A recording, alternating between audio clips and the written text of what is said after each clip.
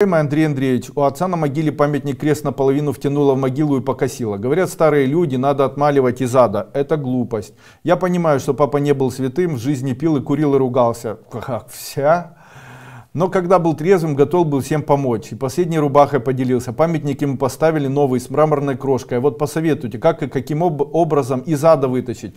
Глупости это все. Не памятник виноват, а земля. Видно, земля проседает. А памятник нужно было ставить правильно. Для того, чтобы поставить такой памятник, нужно было фундамент сделать. И это все знают. Когда вы будете такой памятник, нужно достать крест, немножко убрать землю, сделать фундамент и на него поставить этот памятник. Вот так. Ничего страшного, ни в каком аду ваш папа не находится. Серьезно.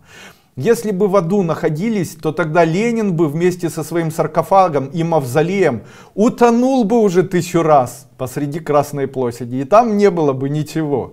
Почему? Потому что подписывал такие заключения и подписывал такие документы, которые убивали там по 100 тысяч человек, знаете, и сажали. И там весь мавзолей вместе с Красной площадью должен был бы уже утонуть там, я не знаю, в аду. И там даже шпилей бы не должно было торчать. Вот так. Эх, люди, люди. А вам, наверное, говорит тот, кто хочет заработать. Говорит, давай я отмолю, а ты бабла мне заплатишь.